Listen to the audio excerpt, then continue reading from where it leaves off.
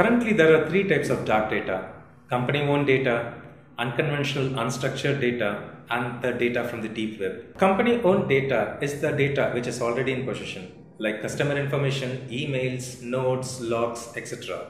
And this data can be used to understand the customer behavior, pricing changes, and even sometimes competitor information.